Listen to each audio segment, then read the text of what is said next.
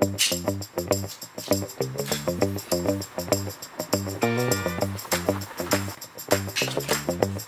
you.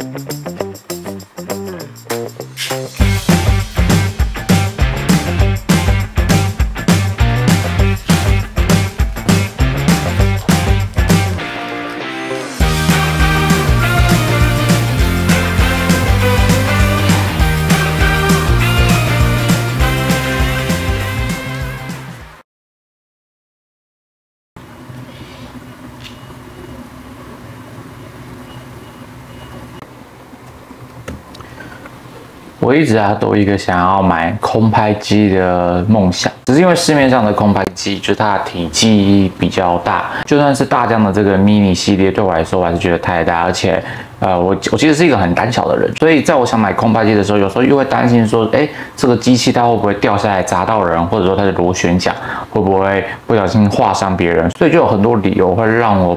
一直不敢去买空拍机，直到前几天大家上了这部超级小的空拍机 DJI Neo。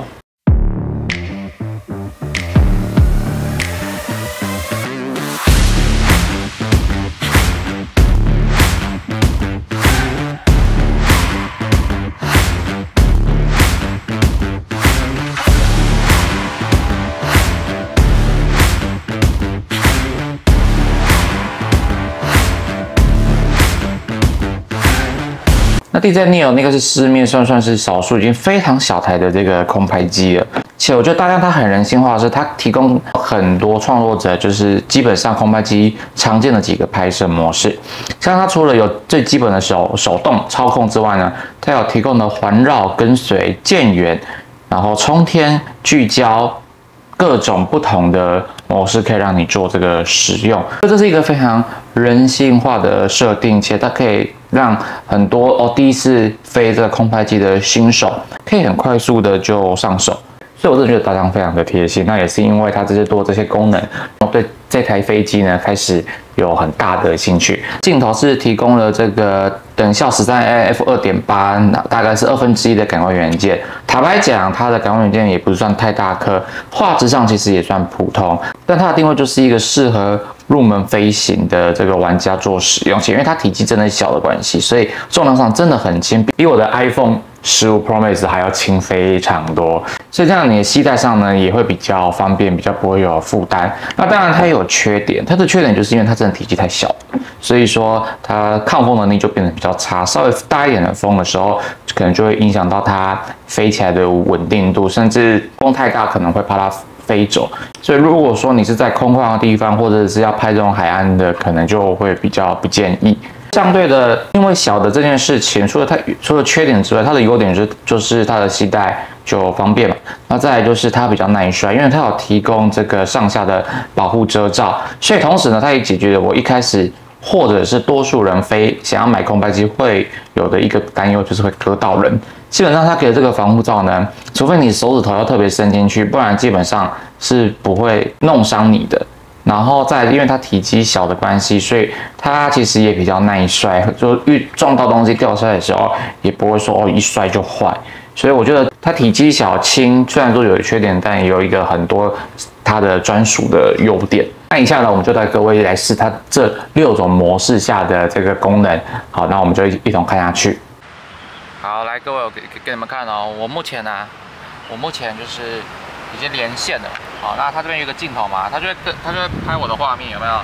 直接可以拍我画面。所以，然后它这边就有很多模式，跟随渐远，然后环绕冲天聚焦。那我们就每个模式来试一下，来让大家了解一下这几个模式大概要干嘛，好不好？OK。好，那我们第一个，我们就是要试这个，直接从跟随模式开始。好，那我们现在手机就按开始。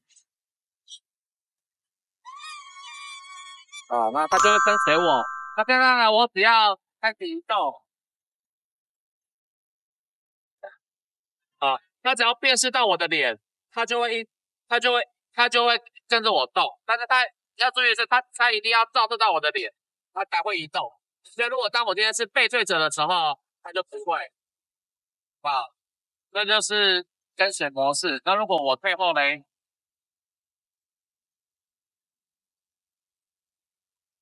啊，它一样会会跟着我动，啊，特别酷的。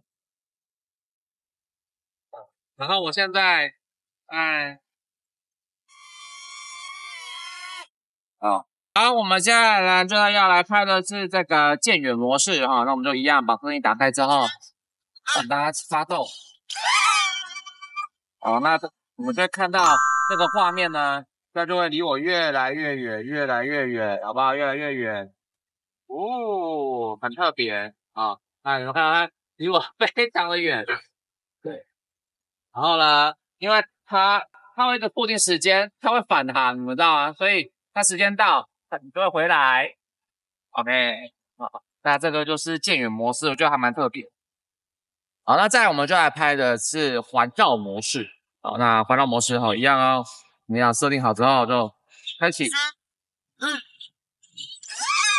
啊，然后它就会开始绕着我，好，它会先退后，然后就会开始环绕，有没有？哦，很酷。啊，它就会开始环绕，跟它微微走。它会绕一圈，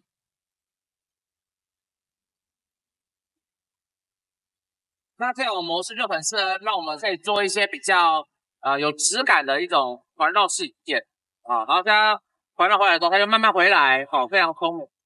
对啊，是这样的吧。然后再来就是冲天模式啊啊，冲天模式来哦，我们再再来发动哦。嗯。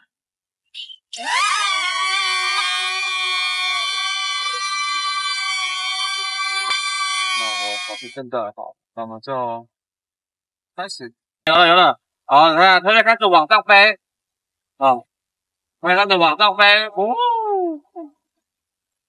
啊，那就开始这样子，对，它就是做一个转场，它就是会慢慢往上飞，哦，对，它不会掉下来吧？等下掉。它飞去哪里了？哎哎，可以让他下来了吗？找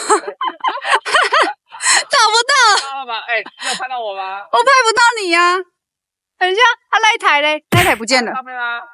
那台那台看不到了。拍到吧？你你拍到看可以吧？你看他怎么下来？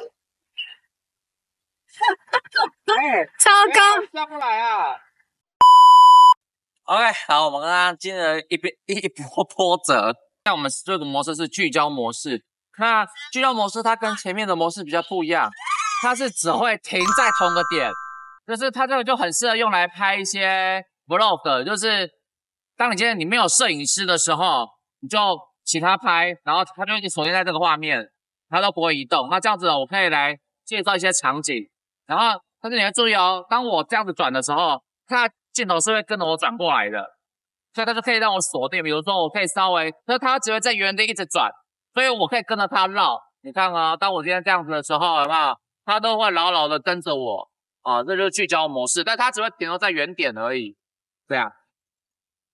OK，那看完以上这个空拍机的影片之后，不知道各位你们对于这台 DJI Neo 有没有心动？那像我自己这样拍影片已经有几年的时间了，因为我本身做人关系会有很多场景上的限制，有些地方拍不到的时候，就会让我一直谋生想买台空拍机，它可以就像代替我的双脚一样，可以飞上天，然后去帮我捕捉一些可能我没有办法看到的画面，或者也是一般人没有办法看到的画面。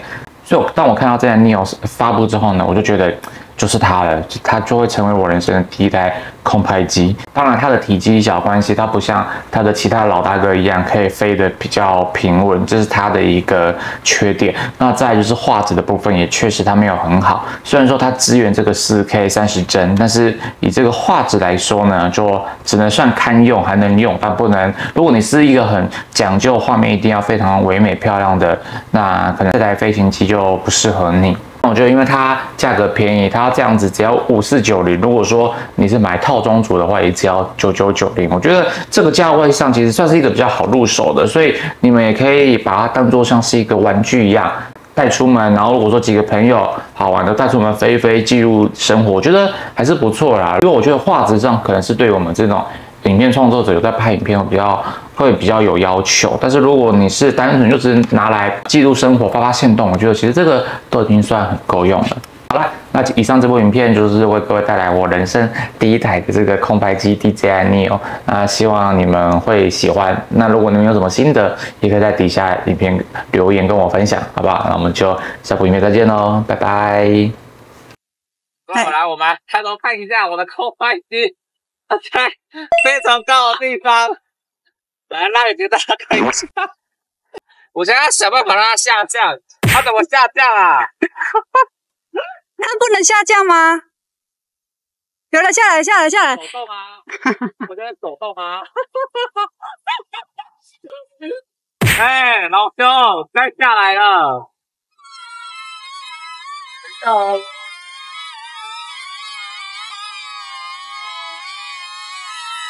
哦，吓死宝宝！吓死宝宝，吓死宝宝，吓死我了！OK OK OK，刚刚是一点小意外，小意外。